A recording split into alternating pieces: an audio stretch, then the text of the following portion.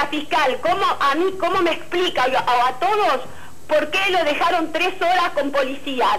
¿Por qué lo dejaron con tres horas policías mientras lo torturaron psicológicamente? Eh, no sé, la verdad que no, no hace ninguna alusión a eso.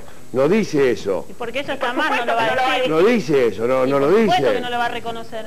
Eh, ¿Qué yo? No lo dice. Sabe, usted habla con su amigo el doctor Pierre, sí, yo hablé con él. los abogados de la defensa, usted sabe que existen esas, esos aprietes ahí adentro de la fiscalía. Y que no me digan que no saben que esos aprietes existen en la fiscalía. Bueno, acá hay gente que dice que no, hay un montón de gente que dice que no. Vera dijo acá que sí, que lamentablemente existía. Acá hay gente que dice que no. estaba yo cuando lo dijo.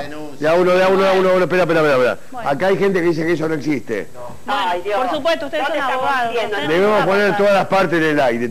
Acá hay un montón de abogados que dicen que eso no existe, ¿no es cierto? Bueno. ¿Qué sé yo, Diana? Quiero aclarar algo. No, no, no, no, estoy hablando, con la señora. Las fiscalías doctor, apretan. Doctor, estoy hablando con la señora. Pido por favor. Sí, apretan. No, no, no, muchacho, no, no. Muchacho, respeten a la señora, viejo.